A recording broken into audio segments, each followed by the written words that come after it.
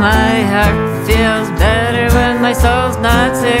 So go away with the mindless tricks.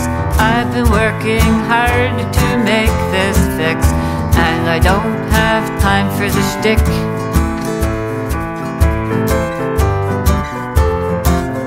I'm watching around and noticing names, noticing all the silly games. The patterns just don't change, so I'll leave if it's all the same.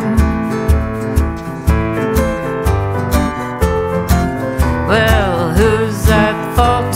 Well, who cares? The descending vortex is hell to share. I still have time to make life fair. I twirled my heart in the air. So I'm leaving all the dark behind, clearing the nonsense from my mind, listening to my heart tick time and my soul's.